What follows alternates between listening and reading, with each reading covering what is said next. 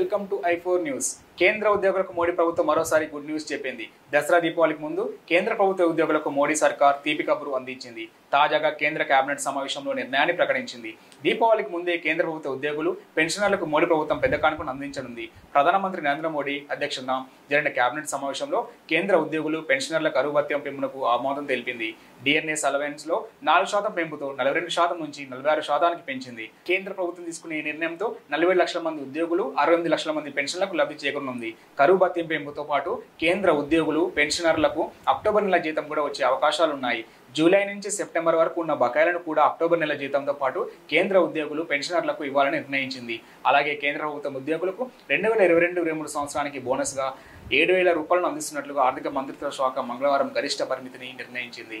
అలాగే కేంద్ర ప్రభుత్వ ఉద్యోగులకు రెండు వేల ఇరవై రెండు ఇరవై మూడు సంవత్సరానికి బోనస్గా ఏడు వేల రూపాయలను అందిస్తున్నట్లుగా ఆర్థిక మంత్రిత్వ శాఖ మంగళవారం గరిష్ట పరిమితి నిర్ణయించింది.